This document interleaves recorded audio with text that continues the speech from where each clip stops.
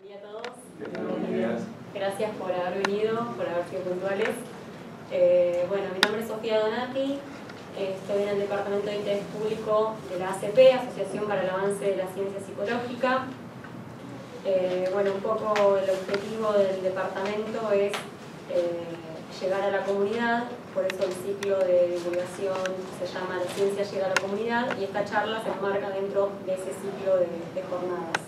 Esta en particular es la ciencia de nuestro ambiente, ciudad, calidad de vida y bienestar.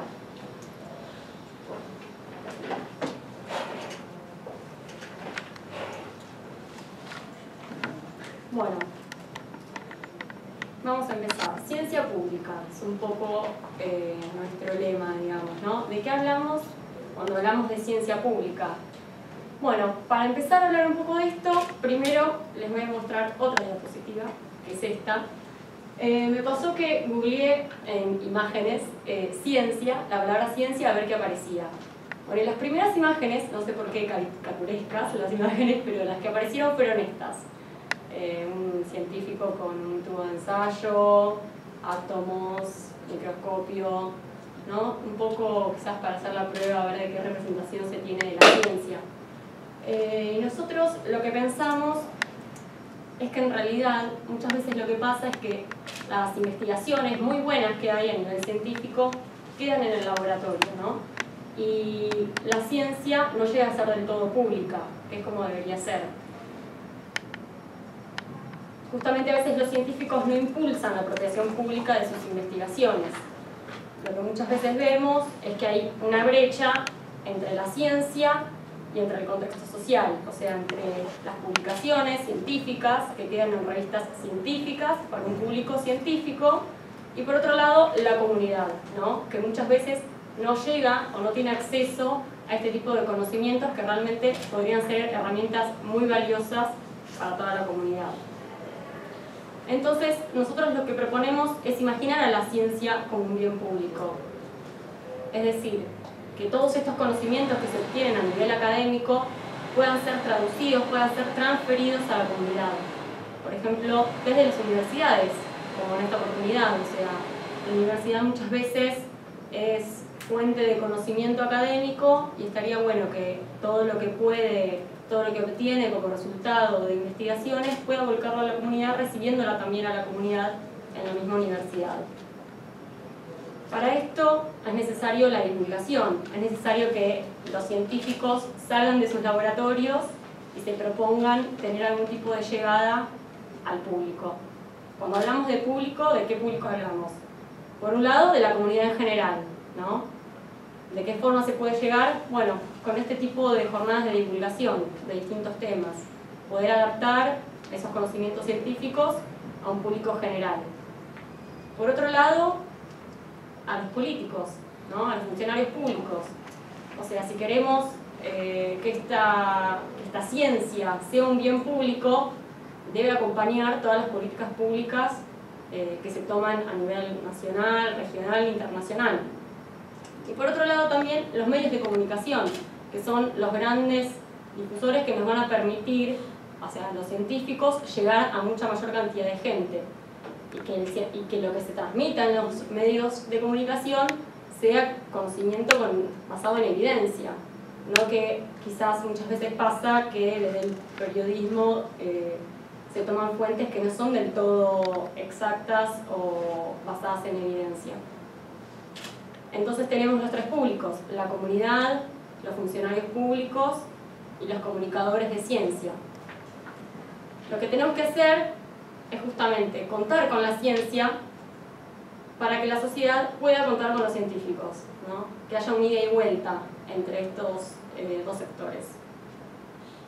Bueno, y específicamente de esta charla, ¿no? medio ambiente, que creo que es un tema que nos convoca a todos porque a todos, digamos, alguna vez eh, puede ser que necesitemos herramientas que estén relacionadas eh, al ambiente.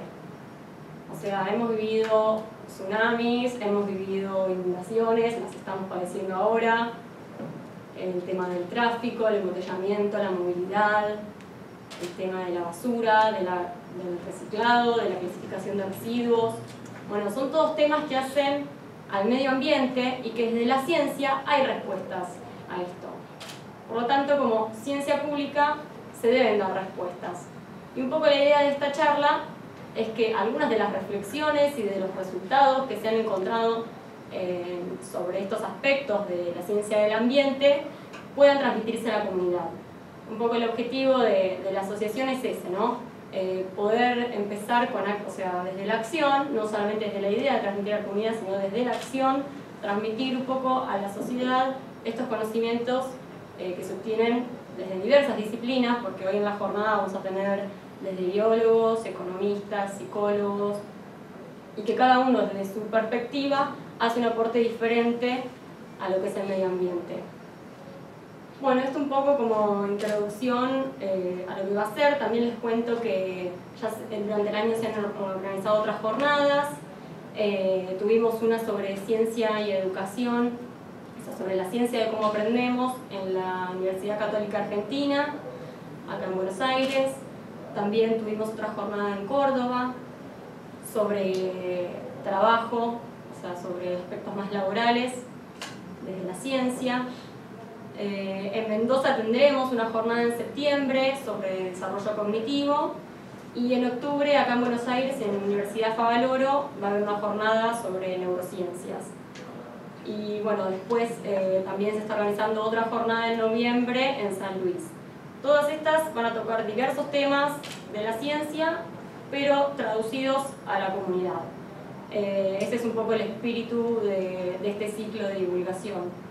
Bueno, en este caso particular estamos acá en la Universidad Abierta Interamericana, que agradecemos el espacio que nos brinda eh, al decano y a los organizadores de extensión. Eh, la realidad es que esperamos que, que, bueno, que se pueda sacar provecho a todos los expositores eh, como ya dije, de alto nivel, eh, cada uno desde, su temática, todos investigadores, eh, bueno, de mucho nivel. Así que esperamos que, le puedan sacar provecho.